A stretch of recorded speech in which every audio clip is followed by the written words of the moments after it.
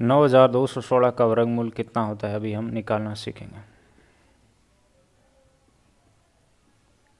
और अनरूट का मतलब क्या है? इसकी घात एक बटे दो। यहाँ पर कौन सा विधि काम में लेना है अपना? भाग विधि काम में लेना है। करेंगे क्या? बिल्कुल सिंपल है, देखिए।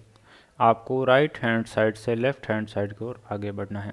दो अंकों को साथ लेना अंडर आगे में कितनी, दो अंक की संख्या आ रहा है नाइन्टी टू अब देखिए, आपको यदि ये अच्छे से समझ आ गया, यानी जो स्टेप है वो आपको अच्छे से क्लियर है, इसकी जगह आपको बारह सौ पच्चीस दे दें, या कोई भी अन्य संख्या क्यों में क्यों ना मिल जाए, उसका भी आप वर्गमूल निकाल लेंगे, क्योंकि आपको स्टेप मालूम है।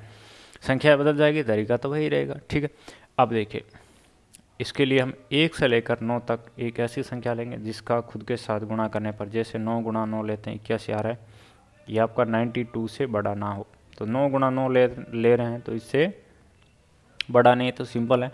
जब भी इक्यासी से बड़ी संख्या होगी, या इक्यासी तक की दो संख्याएँ, इक्यासी या इक्यासी के बाद ऐसे समझे, इक्यासी या इक्यासी से बड़ी ऐसे समझे, बड़ी संख्या तो उसके लिए नौ लेंगे। डायरेक्ट ये हमें पता है। ठीक है? तो नौ गुणा नौ इक्यासी, इसको एक बार यहाँ लिख देंगे। इसको कैसे समझेंगे कि स्टेप फ़र्स्ट में संख्या का चुनाव किया? संख्या का चुनाव करते समय क्या ध्यान रखते हैं? ऐसी संख्या लेंगे एक से लेके नौ तक। खुद के साथ गुणा करने पर लेस देन नाइन्टी टू मिले। नाइन्टी टू से बड़ा ना हो। ओके उसके बाद इनका गुणा यहाँ लिखते हैं। अगले स्टेप में इसको जोड़ना है और इसको घटाना है। ऊपर से जो दो अंक है, इसको अंडरलाइन कर रखा, उसको यहाँ नीचे ले आएँगे। ठीक है? अब इसके साथ कौन सी संख्या लें, उसका गुणा करें।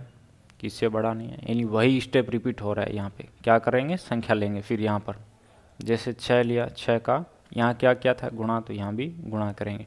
बस ध्यान क्या रखना, यहाँ तो संख्या लिया, खुद के साथ गुणा किया, बस यहाँ अंतर यह है कि संख्या इसके साथ लिख रहे हैं, उसका गुणा करें।